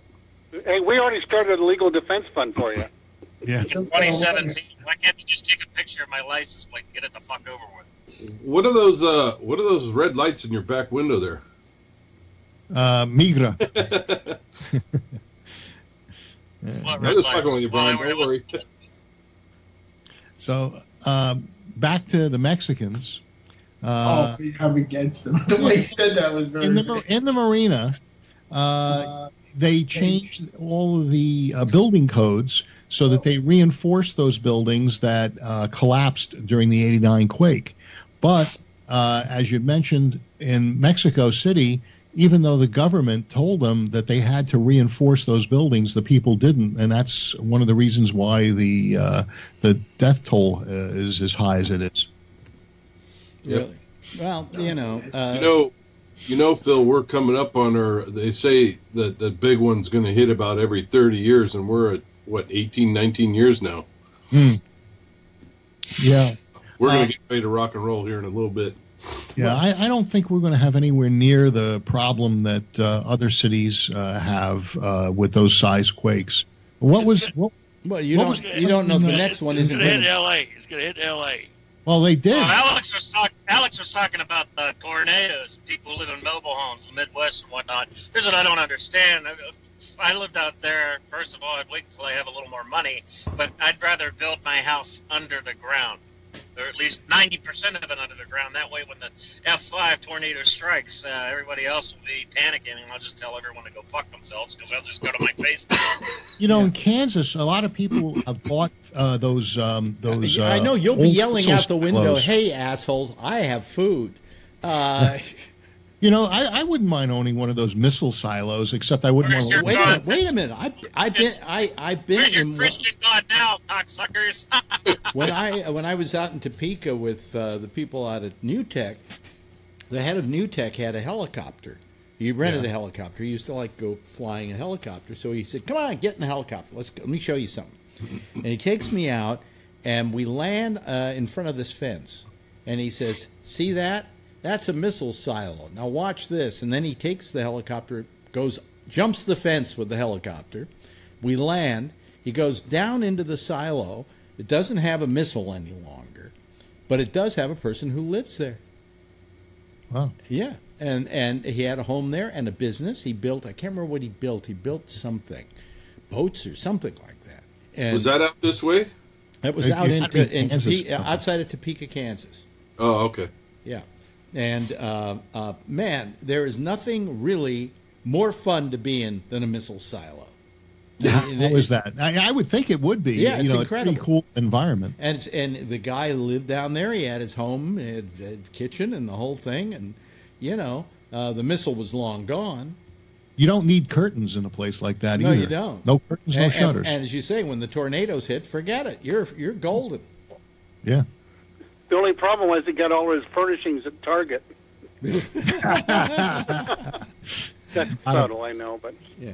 Hey, Phil, did you see that article in the San Francisco Chronicle? The people with uh, the street was ninety thousand. With that guy, uh, couple bought that street in San Francisco, is now being sued by the Yeah. people. They bought a street. That story is Yeah. about, that story's Up about five in months old. Pacific. They were suing them back then. Yeah. What street did they buy? That's an Up old there, story, Mike. Pacific Heights. Pacific Heights somewhere. Oh, what was it, like an alley or something? No, No, no, no, you, you, big you know, you know the street out in, not in Pacific Heights. It's out near. It, it, it uh, it's like if you're going to the beach, okay, Yeah. and there it- there's that whole area. I'm trying to remember the name of the area, Uh, the but there- Avenues? but there's this Yeah. circle. Set? Not Sutro. No, what the hell no, is it? no, no, no, no. Uh, It's by the bay. It's right by the bay. Oh, Geary, By the and port, all the way to Geary. But it, but it's a circle. It's kind of a circle, and it looks out over the water. These are beautiful homes. They're very expensive homes. It's not Seacliff, is it? Uh, not Seacliff. Seacliff. Uh, oh, oh, in Presidio Heights. No, it's I- where no, Feinstein no, used to I- live. I- Presidio yes, Terrace. Yes, that's it. That's uh, that's yeah, that's a nice street. Yeah. Well, that's the one that's uh, that's having the problems. Well, I think they just want to keep the riffraff out. Uh, it's is it gated? Somebody bought the rights to it for like fifty dollars. No. Yeah, I mean, uh, Ninety thousand, I think it was. Those 90,000? houses sell for twenty million. Yeah. Yeah. And then he wants to charge the people who live there to drive the street. Presidio Terrace, ninety thousand dollars. Yeah. Yeah. But they're, they're saying though, the county of San Francisco was saying they put the uh, the word out like they're supposed to, all the legal mumble jumble stuff. When they sent the stuff out, this one notice ended up in Kern Street, a real fancy uh, building there, Kearny. Kearny. Come to find out, it was one of the business managers that used to work for that set where uh, Feinstein's house. Ah, you're making no sense at all, Mike. It is. I'm making sense. No, you're Phil. not. Anybody? Is it, it- I didn't say it. Good, Phil. You're lucky. oh, Okay, just tell me what he just said, Phil. Uh, he tried to say that the guy who uh, got the rights to the circle uh, was the business manager for uh, some some group of people, and uh, he was off Kearny Street. right, uh, six four. Well, Kearny Street's a long street, and it, you got North Beach, Kearny Street. You got downtown Kearny Street. I don't know what street it was. It was some. What does that was some have to fancy- do with the fact that he bought the thing? Yeah, what they street know he that, lives that on? there, there's no that no one knew about it. Well, Presidio Terrace is off of Arguello, and uh, they got that nice temple there. Uh, uh, I forgot what the name of the the one on Arguello with the big dome. Oh, our, uh, Emmanuel. Emmanuel, yeah, it's beautiful. Uh, uh, I, I remember there was, um, uh, I By think the it was way, the by the way, you know Lincoln was Jewish. Did you know that? uh, No, I did not. Yeah, uh, yeah, how could Lincoln be Jewish if uh, Ford owned it? N- n- No, because he uh, he uh, uh, got shot in the temple. Ah, Yeah. all right. Oh, That was a that was a holy situation. That's one of the oldest jokes of all time. I think I learned that when I was a child. All right, bada boom. Bada boom. That's a big bada boom, bada boom. Yeah, Anyway, No rim job. I mean rim shot. no. I'm not allowed. Oh, by the way, tomorrow. No, what about what about a sound effect? A sound effect for a rim job. I got it, No, but I'm no, not allowed no, to use He's it. He's not allowed to use it. Uh, by the way, tomorrow on this program, uh, Penn Jillette. Um, we did the interview. Uh, we did the interview what uh, yesterday, and uh, the only thing I was worried about, I'm going to have to I have to make sure I make the file small enough so it doesn't slow down the internet, whatever. But Penn, Uh, Penn know- Jillette tomorrow, and it's very it's very good. We talk about his career. Now, did he actually own Gillette? You know, the, the No. shaving place? No, that's with a G, not a J. Uh, but uh, I can't pronounce it anyway. yeah. Uh, but anyway, so Penn Jillette tomorrow at the beginning of the at the top of the show on video, not live. Yeah. So, hello, Jack Bishop. Hey there, all this discussion about San Francisco and uh, the fact that Phil Meyer shot uh, some a wedding photo hmm reminded me of something that I have been trying to remember for the last couple of weeks. hmm What radio station was at One Nob Hill Circle? One Nob Hill Circle. Nob Hill. bu- bu- bum. Is that KSFO? No, No, KSFO was in the Fairmont Hotel. Was that the classic uh, station? I don't know. No. What the hell was? I don't remember. I don't think I, one Nob Hill Circle. Nob Hill. I don't think there was a radio station up there. Is there a Nob Hill Circle? Uh, now, there's a Nob Hill, but I don't know of a Nob Hill Circle. Well, where? Well, well, well, well, who was in the? Who was at the top of the mark? But, well, no, there wasn't anything at the top of the mark. There wasn't a station. There It's wasn't a a station. No. restaurant bar. KSFO KSFO was in uh, the uh, in in the Fairmont Hotel, uh, just a little bit adjacent to the Tonga Room. So that's across the street from the ti- from the mark. Yeah, yeah. Matter of fact, from my room, I could see the Tonga room entrance. Yes, my father used to work in the Tonga Room. Oh, My, that my Is- father, my is father, my father is famous because the Tonga Room was famous for the fact that it had a, uh, it, it had a swimming pool in the middle of it. It, it had an island Well, in wait it a minute, too. no, no, it didn't have an island. It had a raft. Oh, okay. and that's the where band, the band, was on the raft. And what they Right. would do is they would float the raft out into the middle of the pool while they were playing music. And my father was on the very end playing his violin, and he had to grab the rope and pull it back in. And one night he was so drunk he pulled it back in and fell into the pool. Hey, if they if they don't like the band, they just disconnect the rope. That's right. That's right. Now, Alex, what years did your dad work at the Fairmont?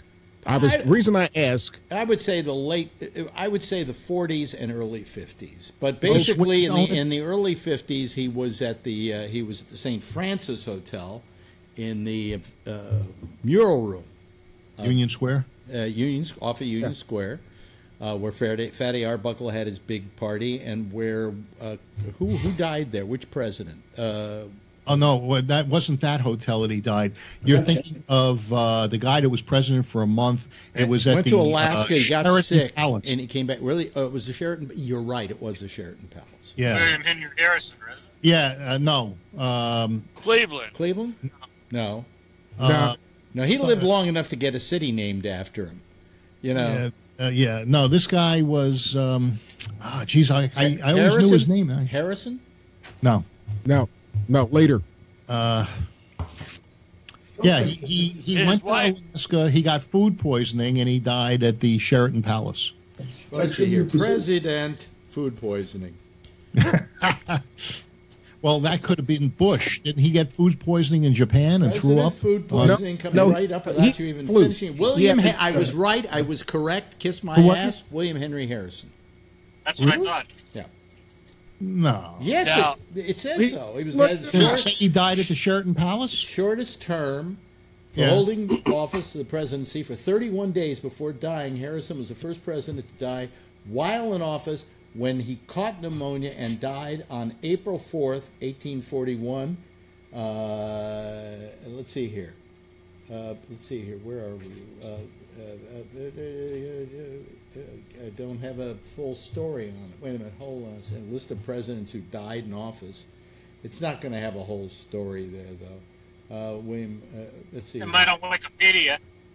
Uh, Zachary Taylor, William Henry Harrison. Uh, uh, bu- bu- bu- bu- bu- it doesn't say here. Huh. Well, he couldn't have died uh, at at the hotel that we were just talking about. Well, they said he got food poisoning. 1841. Wait a I minute, wait a minute, wait a minute, wait a minute, wait a minute. Hold on a second. Warren G. Harding That's it. That's it. died from a sudden heart attack in his hotel suite while visiting San Francisco around 7:35 p.m. August 2nd, 1923. Yava Vava. That's Yeah. it. Yeah. Led to theories that he was poisoned. Uh, Yeah, food poisoning. uh, but it doesn't say what hotel. But it pro- I, Uh, I think Sheraton it, I think it was the Sheraton Palace. Yeah, That's just below market. Yeah. And And, uh, but when we say that, folks, we don't mean that the price is lower than the prevailing price of other properties. Market Street. Yes, Market Street.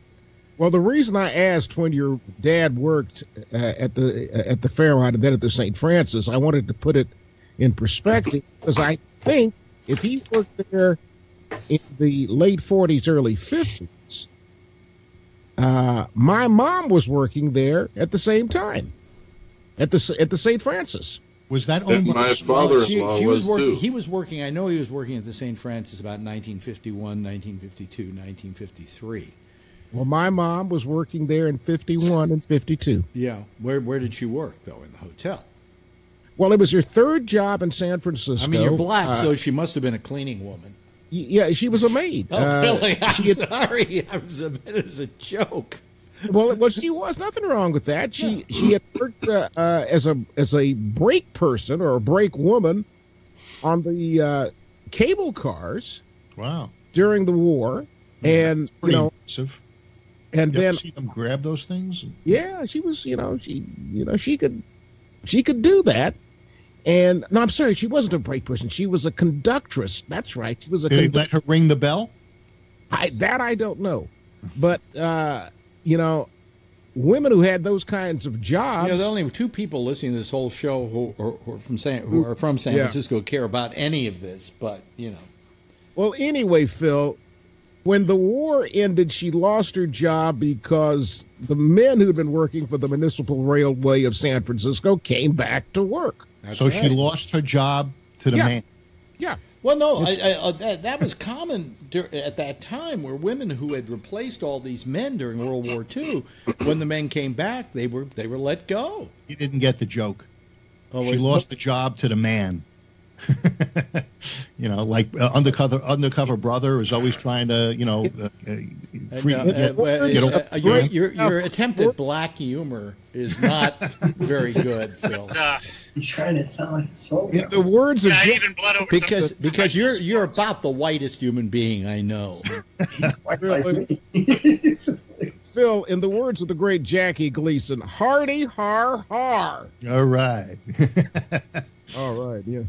He doesn't even do the all right right. yeah. Yeah. Well, I, you know, it's it's the, the blackness in me.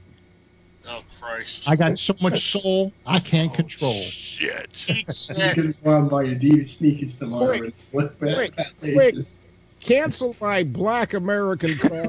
and if, if- if we're letting you in, They're going to take your black card away from you. All right. Well, let me see. So anyway, it was well, you're thinking of Warren G. Harding. Yeah. Yes, that was it. Yeah. I knew it wasn't Harrison. Uh, Warren G. Harding. That's it. Right. Okay. Uh, so you, so you got it. You, you got something. uh, We got something right tonight. Yeah, but I couldn't remember his name. All except the one. You want to let people. The hotel he died in. They've got a wonderful brunch on Sundays there. Well, he damn sure didn't get his politics right, but that's another story. In 31 days, he, he got almost as much accomplished as Trump. Oh Christ! You know, Phil, I've always wanted to ask one of you conservatives this question. Who should be your opponent? Who should be my opponent? Who should be the opponent of you conservatives? Uh, there shouldn't be any opponents. It should just be uh, conservatives, and that's the only way that there is. You So in other words, a Politburo with an American flag wrapped around it. I like it. Yeah, yeah, definitely. Yeah, let me put on my hat for that one. I would hold up my Make America Smart bumper sticker, but we've given them all away and we haven't got the new ones yet. But be listening to the intersection because starting next week we'll have them and we'll be giving away once again Make America Smart bumper stickers. You know, I, I used to listen to a radio station in New York called WWRL, uh, 1600 top of the dial. And uh, now there was a guy on there. His name was the Reverend Brother uh, A.G. Lofton. And uh, he he used to say, "We have if you send one dollar to the Reverend Brother James L. Lofton, uh, we'll send you a free golden cross. But we cannot get this golden cross from France because of the dock strike that is now going on in this great country. It sounds kind of like your bumper sticker thing, you know? The- Yeah. We, we ran out of the ones that I initially got. Uh, one of the other great stories of televangelism or radio evangelism was a guy in Chicago who uh, was always talking about the trip that he was taking and that he would be leaving from such and such a station at uh, 11 and he was going to be taking train number six. Yeah. it would arrive in the next city that he was going to at 8 that's right the number is 1168 he was giving out the the numbers for the did it for years that way well uh lofton uh i still remember i must have been 10 years old and it was uh james l lofton post office box 208 newark new jersey send you one dollar for the free who, golden who was the preacher, uh, Jack? Um, I'm trying to remember his name right now. Who used to just go on for days? I mean, he had like all the time you could buy on one TV station, and he would just Oh, sit there. San uh, oh, uh, Gene Scott. Gene Scott. Yeah. What a special person he was. Yes, he'd keep you up all night. No, but when he was, And div- he- were you around when he was divorcing his wife? And he would Uh, go oh, on and do these sermons about his wife. Really? I'd like to hear that. And he just told it, told it like it was, didn't he? Yeah, Gene Scott. Until yeah, but you had to send in money to, to get him more airtime uh, because he was going to lose his satellite upfeed. Yeah, yeah. And he was always always trying to get Fuck money. and if you weren't giving uh, your love offerings, he'd stop the program and just start showing videotape of his horse ranch. Yes. That wasn't the guy that sold the unfinished furniture in San Francisco, um, who had the horse. Oh yeah, what the hell was his name? Uh, yeah, uh, he. You know, you know what's great? It Barboa, was great Ed was- Barboa? What was, No, what no. was great when And I- I television when television first started, uh, TV stations would sell time to anybody who was willing to buy it, and so you had all these pitch guys coming on and doing stuff, uh, and um, uh, they, they would. Uh, I would just watch them all the time. You know, do their little pitches. You know, uh, the, their car dealerships and things like that. Best story I ever heard. Chuck McCann. You know who Chuck McCann is? yeah, yeah. I used to watch him when I was a kid. Chuck was working at uh, Channel 11 here in uh, New York City, WPIX, and he was doing a movie show every uh, every Saturday night, I think. Uh, uh, and he would it was something something movie, and he was the host of the show. And they had this guy who sponsored it, who may had a rotisserie that he was selling. And what he would do at the beginning of the show, he would skewer a, a, a lamb or a roast beef or whatever, put it on the grill, and then as you would keep coming back, he'd be basting it, and they'd break in the movie and say, "Ah, look, it's it's getting better and better, and it's getting nicer and nicer. You too can have a very lovely roast beef if you just order one of my rotisseries." And then they would it would whirl around and by the end of the show, he would produce this fully made roast beef and say, "Let's cut this. It's really tender. Oh, it's lovely to the taste. We'll see you later. Back to the movie." Um, You did a movie thing in San Francisco. You were Captain UHF. yeah, but don't don't uh, let's not uh, let's not No, ruin the story by by that. bringing that up. I Um, wait a minute, wait a minute. Did you see the look of uh, embarrassment on Bennett's face? no, I'm no no we used to. He had a list. I had a hat with was- a propeller on it for crying out Right. loud. the, the list used to say, uh, you know, what exact time his spot was going to come up, and so we would sit there and watch, and he would record his spots as, uh, you know, as they came up. Like at eight oh eight, he was going to have a, s- uh, he was going to have his spot. We didn't watch the movie, but no, uh, no, the movies suck. But anyway, anyway, that let's get back to Chuck McCann. yeah. So, if you know anything about TV stations, the crews at TV stations will eat anything. Yes. Okay, Yes, you leave food behind, it's like a dog lapping up scraps. I mean, they will go for anything, and they love this guy because at the end of every show, there was this lovely roast beef. Well, the guy went out and he bought a week ahead of time for some roast beef, uh, and uh, uh, he put it in the refrigerator on set, and he left. Not realizing that, of course, after the show, they pull the plug on the refrigerator and store it away for a week until it's next week, and they plug it back in again. So the guy pulls out the roast beef, and it smells. It smells to high heaven, but he figures it's TV, it's black and white, nobody's going to know the difference. Just because the beef is green doesn't mean anything. So he skewers the thing, and they start doing their little shots every now and then throughout the show. And he says, You see how it's doing? And believe me, you can get yourself a lovely roast beef like this.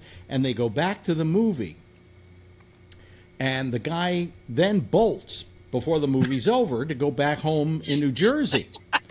And, and he's on his way to New Jersey when all of a sudden it hits him. Oh, the fucking crew! The crew. He does Everybody a had the he, shit do- for the he does a week. U-turn in the Lincoln Tunnel, and comes back to the city. And he's, he's pulling up the W uh, WPIX, which is in the Tribune building. Where's that? down off of Fifth Avenue or something. He pulls up. There's an ambulance. and they're hauling members of the crew out who are complaining of massive stomach and gastric problems. That's great. You- You know, you you ought to try and get your Chuck, your friend Chuck McCann to uh, do a half hour. He's with written you. me recently. I should probably talk to him. He's he's an interesting character. Oh yeah, I, I, What? What'd you What'd you say, I, Brian? said I, had, I had to stop driving for that one. That was fucking hilarious. Yeah, that's a great story. That's one of the he, when uh, Ch- Chuck told me that story years ago and said it was just priceless. and He- way better than the t- than the uh, TV guy screw up story uh, that, that I have from San Francisco. Do you remember um, when you were growing up in the city? When you grew up, at, yeah, in Marin. You remember a guy doing a, a show on Channel Eleven, a kid show? A guy named who called himself Captain Satellite. Oh, that was no. I, uh, Captain Satellite was. Um, God, I think I know who the guy was. I think he was a relation of mine. I'm not sure. Pat, Uh, no, no, no. Captain Satellite was out of Sacramento. No, No, no, no, no, no. Captain Sacto was uh, Uh, You're right. Captain Sacto was Sacramento. So Captain Satellite. I'm trying to remember. There was Captain Fortune. On Channel Eleven. There, yeah, but there was also Captain- Captain Fortune, and I think I was related to Captain Fortune. Well, uh, the good Captain Satellite, he was at Channel 11, Yeah. KTVU, I think, with the Yeah. calls. Yeah, that's Channel two. Uh, that was the station I worked for. oh, really? Yeah. Uh, he was asked to. Oh no, no, no. I worked. I, excuse me. I worked for KB, KBHK, Channel 12 on most systems. You're 44, right? Four- channel Or 36. Yeah, no 44. The, the Caldota one, or uh, Ca- I think the Channel 44. 36. I also worked for at one point. Well, 44 was owned at one time, I think, uh, by the folks that owned the first station I worked at. Bob KSPN. March. Bob March was his name. Well, uh, uh, Channel 44 was owned by Chris Craft Industries, the boat people. Oh, well, anyway. and that's his name, Chris Chris Kraft. No, it, no, it wasn't. Well, then, Captain Satellite was asked to be the Grand Marshal of the Contra Costa County Fair one year. Mhm. And like so many people in our business. By the way, uh, before you finish this, is this an alleged story or is this No, known no, for a fact? No, this this is a real story. Okay, because a lot of these things become legend, you know. because it, it it not only made the paper, but I'll but when I tell you what the guy had to do, uh, like so many people in our business, the captain, shall we say, liked to make sure that he tanked up before he took off, and showed up, showed up, drunker than a skunk, crashed uh, a, one of those kitty uh, uh, Dodge car rides threw up over somebody. It made the newspapers, and that was over the weekend. Channel 11 made him go on the air and apologize for his misbehavior, which I which I remember seeing as a kid because I was thinking, what the hell did the son of a bitch do that they're making him apologize? Because I hadn't read the uh, Saturday or, or the Sunday paper rather about what he did. And I was thinking about uh, the Emmys and poor Sean Spicer, who is now having to apologize uh, for his misdeeds of misleading the press and the American people. He should be made to do that like Captain Satellite Well, had wait, to wait a do minute, for a a minute. whole I, you know something? I don't think there was anything wrong with Sean Spicer being on the Emmys. I think that it shows him a man of great humor about himself and able to laugh at, at that situation. They Uh, I have think had I think that is that impersonated everybody so, has it so out for him, and quite frankly, I'm I take pity on Sean Spicer. I mean, this man had the worst fucking job in America. Imagine being an apologist. They to should have had Melissa Trump. McCarthy show up on the set too and say, "No, I'm Sean Spicer." No, is she supposedly was there. She, yeah, but She she, was there, supposedly avoided up. him afterwards. Avoided him. Yeah. Yeah. But I mean, I I just think that uh, we should take a little pity on Sean Spicer. You know. But do we really need to be um, trying to rehabilitate the guy so soon? You know why McCarthy uh, Nobody's didn't trying to uh, want to talk rehabilitate to him? him. Why? Because Sean Spicer stole her act. Yeah. Uh, no, it got uh, it killed her act because he got fired. Yeah. Um, but I mean, I I think that uh, Spicer, you know, was only doing what any press secretary does. They all are apologists for the for the for the Oval Office. You know, they are all there to kind of make people believe that things are better than they really are. And if your boss gives you marching pa- uh, uh, papers and says, uh, "Hey, there was a big that was the biggest crowd ever for an inauguration," you go in that room and you say it because that's your job. And and doing- and he said that as much as that. He said, you know, I was told to say that. He said that was my job. I w- took the marching orders and I did them. You know. There's got to be a red line, though, Alex. Well, I mean, there's got to be be a red line, but you know, I don't know that the press secretary has to deal with that red line. I think the president and the Yeah, around him should deal with If that. we line. if we go to war, we got to trust the press secretary and the whole White House. Did you hear Nicolle Wallace? Uh, She worked for George Bush in the White House. She said, "Don't ever ever feel sorry for somebody working in the White House. It's the best job in the country. They just it's their choice to be there." Who is the new press secretary? Isn't she a good-looking 23-year-old woman or something? Sarah Are Huckabee. you talking about No, Sarah Huckabee? No, She no. kicked your ass. Hope Hicks. No, it's Hope. Hope Hope somebody. Hicks. Hope Hicks. Oh, Last name yeah, is yeah. Hicks. No, Yeah. Well, the question, looks like Phil, a is how long should she be press secretary? I don't think she's said anything. Uh, has she had any conferences? Mm-mm. Give her time. No. Give her time. She's going to be acting. I don't think I don't or I don't know if she's going to be permanent. It's Oh. unclear. Five will get you ten. No, well, She's probably an intern if she's only 28. Uh, is she 28? I, I thought she was younger than I- that. She's Well, no, I think she's 28 now. Oh. Five will get you ten. That Trump. She was only 18 when she started dating Trump, though. Oh, great line. Uh, didn't she get hired on The Apprentice? Did she? No, is- I, don't, I, I know. She, I think she worked for the Trump org.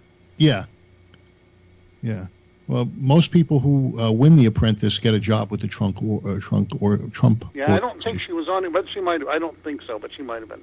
Yeah, wasn't she the the front desk? You know, the one thing I, for. I forgot to talk to Penn Jillette about was he he's intimately aware of Donald Trump because he did two I t- think two seasons of The Apprentice. Yeah. Wow. Yeah, you could have asked them. Yeah, I, I failed to get to that. Isn't he uh, uh, share my political views? Doesn't he? No, No. Oh, he's not uh, no, conservative. he- he- no, he's he's he's a uh, uh, what do you call libertarian. oh, Libertarian. Yeah. Yeah. Um, but I'm sure he, you know, even the libertarians think that you know your boy is a fool. uh, I, I don't think so. He was uh, he was a star today in my eyes. Oh boy, you would have given him a, if he was there, you would have given him a, a good hand job, right? But on the other hand, I liked your uh, your your work too. Hey, hey, Phil, I have one comment about. Uh, well, then apparently I wasn't doing it right. what I, Tim don't- said I only have one comment about Trump's speech, Phil. Yeah. It's some of Putin's best writing. Well, yeah, it did kind of remind me of him a bit. You know. Uh, yeah, well, he's doing exactly what Putin wants. He's just stirring up the pot, making the. You know, they're doing military exercises in Europe, and uh, Putin's flexing his muscle, and Putin's going to get away with all this stuff, and Trump is just a distraction for America and now the world. I think that's reasonable that Putin's doing the military exercises because NATO is doing military exercises and they won't let him in. You know. Uh, I want to know It was- who hacked Equifax. Was that the Russians? We don't know, do we? no, it was probably the North Koreans. Well, It's I mean, possible. I It's mean, quite possible. if if you're going to hack Equifax, you're not going to hack, hack Equifax for the names and numbers of, of people. You're going to hack Equifax to bring it down. You know, Can and you I so I don't I, I I don't think that's something Russia would do. What what's that? Who's that? That's Elton John talking man. Is that your phone? That's it is. What? That's You Kim Jong Un. I'm having flashbacks again. Sorry, I had to. You know, if, You know, I, and by the way, by the way, him calling Kim Jong Un Rocket Man isn't I mean, come- exactly insulting. Sorrel, come. It's not insulting. It's not insulting. It doesn't sound insulting to me. Sounds it sounds like it to If, me. It uh, diminishes and uh, uh, Kim Jong Un's I, I, uh, I, power. love, I love space and the exploration of space. And if somebody called, they used to call me Moon Rocks Bennett for crying out loud. I, I I have a friend school. on Facebook that changed their profile to Elton Jong Un. Yeah, but you I'm- see that- With sunglasses. wait a minute, wait a minute, wait a minute. I, uh, how many here find that Rocket Man isn't exactly a terrible term for him to use? It's not that pejorative.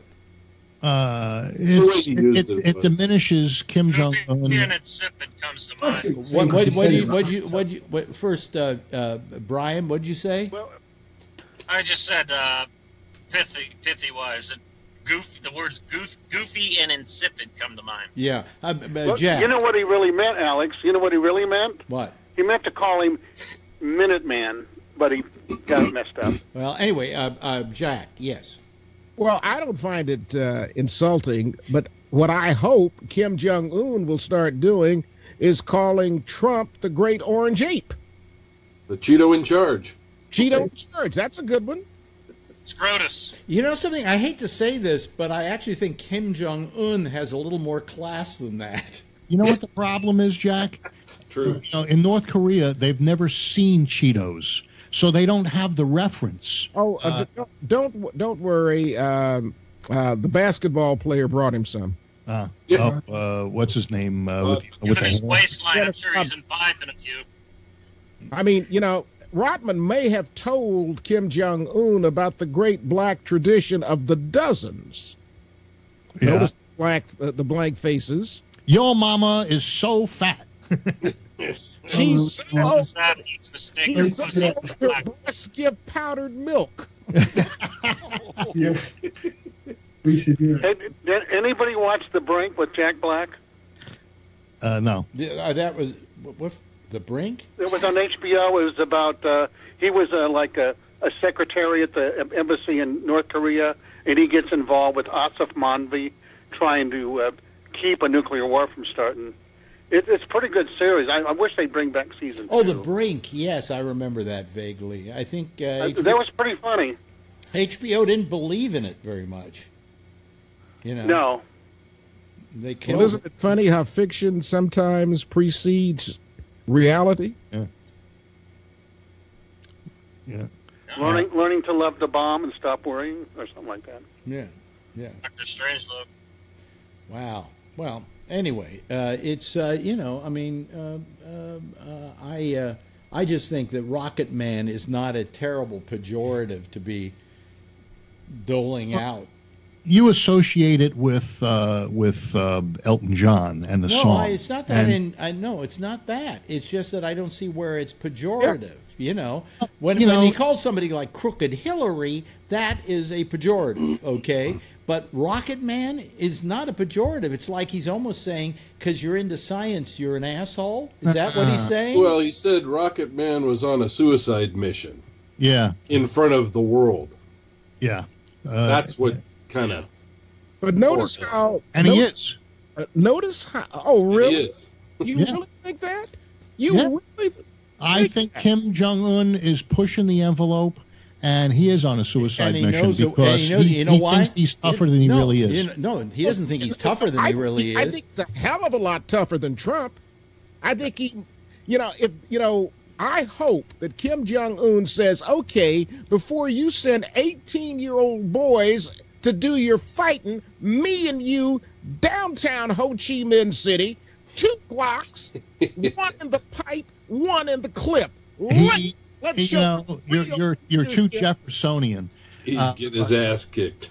You know, uh, I think what he would do is he'd park a couple of uh, carriers right off the coast, uh, and uh, he would launch enough missiles. And Kim Jong Un should say, that's pussy. Yeah, Real leaders face each other, a mano a mano. Uh, what he'll do is he'll take out all his little silos. And and and and Un should say, if you do that, that just shows you have no courage, no conviction, and very small and balls. also, you do not make threats you're not willing to follow up on. well, And, how uh, does he know whether he's willing or not? Well, uh, how if the, the fact of the matter is he's going to take the chance that that uh, Trump isn't going to do anything, and I He think back- and I think he's right. I think he'd be right in that assumption. He backed down, un, backed down on as soon as uh, Trump came down on him about the Guam wait minute, thing. he backed. And- wait a minute, hold on a second. He Trump backed. backed down on his wall, on his wall. No, no, not Trump. I'm talking about Kim Jong Un Trump when he backed said that he was going to. We've seen Trump back down on more things than Kim Jong Un. I don't know and that Kim Trump Jong Un and Kim. Jong Un said, "Well, maybe we were just going to fly the missiles near there," but he's still firing missiles. He's still doing provocative things, no matter what Trump said. So Trump didn't stop him from doing anything. He Well- only encouraged him in his bad behavior. Now, if we were Japan and they flew a missile over Jap- over Japan, don't you think that that's an act of war? No, I'd say that's good uh, entertainment. You know, watching. The, Well, uh, uh, Kim Jong Un is so provocative. He's got the Japanese rethinking their whole pacifism thing. Uh, it's good. Well, That's what is Trump it? said they should do. It wasn't so good last time they got rid of their pacifism. Yeah, but it's it's not directed against us, and I don't think it ever Well, would. but it could. Well, but it's just. It's going to be. Well, we're in a nuclear age. Anything that happens anywhere is going to be directed against everybody. Trump- Do you know that there was earthquakes after that hydrogen bomb test in North Korea? Yeah. There was earthquakes. In the, now, do you know there was an earthquake uh, an hour ago in New Zealand? well, they're and then always the one in Mexico, and I think there was one. In, wasn't the one on yeah, but L.A.? it didn't have anything to do with those underground missiles. I'm No, no, no. you. I know, but it's it's like the ring of. It's all on the ring of fire. No, no, I don't think the No, they're Mexi- not? I don't think Mexico's is in the Ring of Fire. Oh, they're not. Really? Okay, I could be wrong. City. I could be wrong. I It- bet it- you it this is in the Ring of Fire? the- I believe so. Yeah. Really? yeah, yeah. I think it is. And Phil, what's so good about being provocative? You know, why don't we go? I think it is. I think that uh, he uh, that Kim Jong Un is going to be put in his place, and that uh, By who? well, as soon as you get the rest of the world cutting him off, and he can't Here- get, here- here's a- can't get here- even a bag of Here- Cheetos. Here's how you go. Here's how it goes. Well, he, no- he- nobody's helping him anyway that much. Uh, Iran- but- Iran is uh, Iran is helping him. huh? Iran is helping him. China's, China's helping. helping him too. China has had more trade last year than they did the year before. Yeah. Well, it, it- here's here's here's how uh, he's going to do it. How he's going to get tough Trump. Rocket Man, Rocket Man, Rocket Man, Rocket Man. Right. Yeah, that's That his sounds idea. like Jerry Lewis doing uh, Rocket Man. Yeah, no. Yeah, I got to get ready to do a program. Phil, call us. All right. Everybody else who wants to might as well. We'll continue the same conversation here in about three minutes. Okay, Yeah. get lost. Have a good time tonight. I'm, I'm Okay. Anyway, um, uh, but that that about almost uh, wraps it up for us here as well. You know, um, uh, I, I want to thank uh, Brian, who's uh, dr- still driving, uh, and and Phil, who is not driving, and Kevin, who is sitting in his apartment, uh, his house rather, like he normally sits in ha- his house. And uh, thank you very much, Mike, wherever you are. Of course, Tony out in Queens. And Tim, thank you so much for joining us uh, this Alex. evening. Uh, I am driving. What? I am driving. Everybody crazy. That's, That's right. correct. Anyway, everybody wave, wave goodbye. Wave goodbye, everybody. There, there you go. There goes the citizen panel. Those little, little, little wonderful group of people that we have. Um, and uh, let me see here. Let me uh, bring up the music a little bit, and uh, just you and I talk for a second while I tell you to stay tuned next over most of this same GABNet for the um, um, uh, uh, the in- intersection with Jack and Amy, and after that it'll be connections at uh, one o'clock in the morning Eastern, all Eastern Daylight Time, because I live here and I'm the I'm the boss of the place, so I make the time. We'll see you again tomorrow, same time, same station in life. If you happen to be in Hong Kong and you see her, tell her I love her, okay? Bye, everybody.